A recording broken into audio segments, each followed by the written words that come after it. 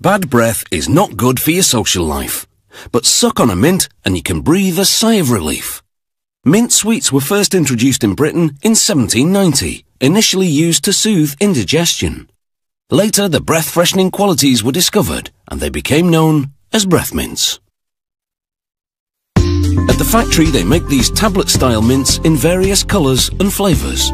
For a lime-flavoured mint, ingredients include sorbitol, a sugar-free sweetener, magnesium stearate, which acts as a binder, and lime oil for that refreshing flavour. They load measured amounts of the ingredients into a V-shaped blender.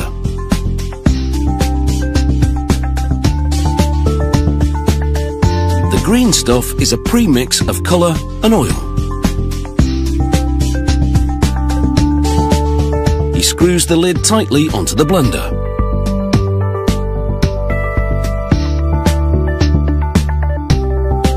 Tumbles the ingredients for 45 minutes. The magnesium stearate begins to bind the various elements. Then they mix blue and yellow pigment to produce a vibrant green one. The pigment is a booster to enhance the green colour of the mint and the lime flavour.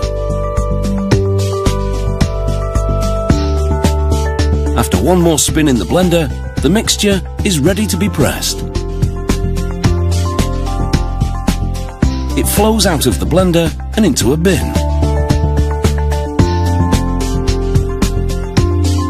Once the bin is full, they deliver it to the tablet pressing machine. Here, they scoop the mix into two hoppers that have sieves on top. The sieves screen out any large clumps. The rest of the mix falls into the rotary tablet press. This is the same kind of machine that the pharmaceutical industry uses for making pills. It spins in a blur to punch out 1800 tablets a minute. They slow the press to a crawl to give us a close-up look. The granulated mixture flows in metered amounts into dies in the rotating wheel. Upper and lower punches meet in the dies to compress the ingredients. This fuses the mixture into hard tablets. After the compression, the lower punches rise and eject the sweets. The mints and the excess powder fall down the chute. At actual speed, the machine churns out dozens of mints faster than the blink of an eye. The tablets and all the excess powder now flow into a perforated cylinder.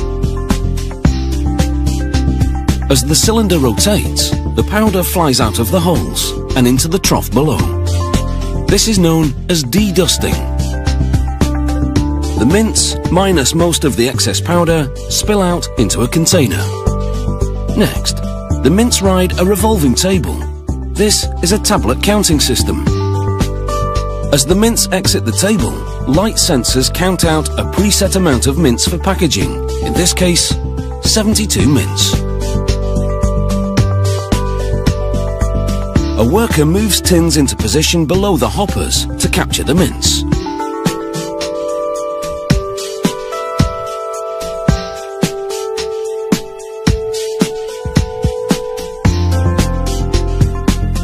This kind of tin has been used since the 1920s. It has a sliding lid that makes it easy to open. But once closed, it contains them tightly, preventing spillage. Now it's over to the shrink wrap department. Machinery drops a plastic sleeve onto each tin as it rides by and under a levelling bracket. The tins then travel through an oven, where a blast of heat softens the plastic sleeves, causing them to shrink around the tins. They emerge securely sealed and ready for retail. Today these sweets can come in exotic shapes, like these wine bottle mints. It's a nice touch, and we're in no doubt that customers will love the idea too. Hopefully, they'll buy them by the truckload, ensuring that this company really does make a mint.